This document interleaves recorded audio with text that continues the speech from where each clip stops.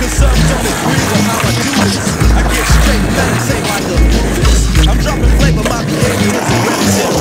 But my technique is very necessary. Blame it on Ice Cube. You represent it gets funky. When you got a subject and a predicate. Add it on a dope beat, then it'll make you think. Some suckers get me shit to my stomach. Cause they don't flow like this one.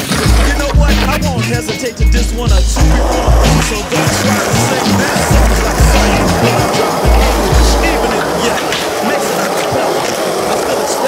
Don't smoke, bleed